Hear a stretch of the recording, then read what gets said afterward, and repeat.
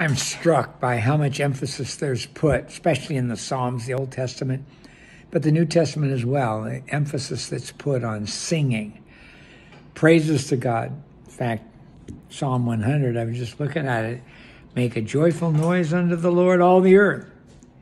Come into his presence with loud singing. Didn't say good, it's loud.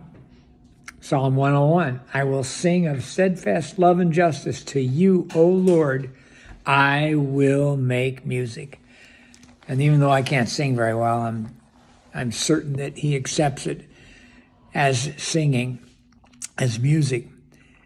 But something I was thinking about is that I think it's helpful, certainly is for me, to have as a part of our quiet time singing.